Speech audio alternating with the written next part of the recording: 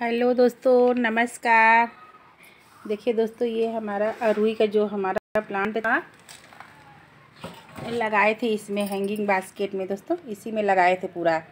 एक बार अरुई आया था खाने के लिए, आधा किलो की एक पाव आया था, पूरा अरुई हम इसी में पूरा सरिया के रख दिए थे, मिट्टी डाल के। और एकदम नीचे पूरा जड़ भर गया था, आज हमारे यहाँ जो मिस्त्री आए हैं काम करने वही ये नीचे मेरा जो ये तसला है ना, एकदम टूटा है।